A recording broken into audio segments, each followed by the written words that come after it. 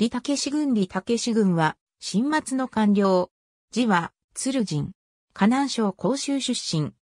1847年に紳士となり、厚生省令側、桂平の知見を歴任し、陳秋の放棄の討伐の功により、南寧同地となった。1851年、竜がを渡河しようとする太平天国軍と戦って、渡河を防ぎ、地府に昇進した。太平天国軍が慶林を包囲すると応援に駆けつけ、包囲を解いた。その後、人州地府となり、天地会討伐に当たった。1854年、祖国藩が将軍に水軍を創設すると、李武軍は、楊はじめ副、宝玉林と共に指揮官として登用された。水軍は、白領機の戦いで勝利し、竹州を奪回した。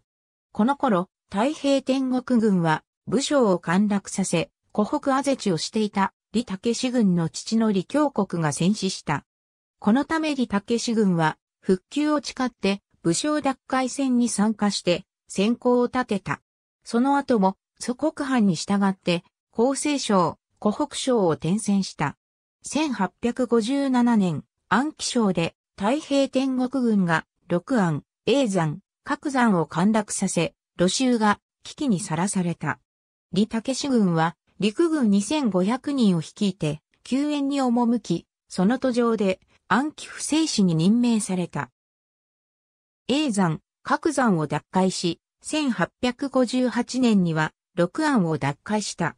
安徽準部の福住が解任されると、李武士軍が準部の職務を一時代行したが、露州が陥落すると解任された。その後李武士軍は、露州の廃兵をまとめ、露州近郊の頂上に駐屯した。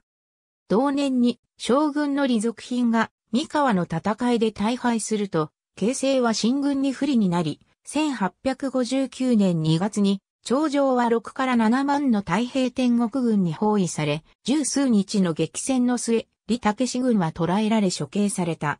朝廷から部便の死号が送られた。ありがとうございます。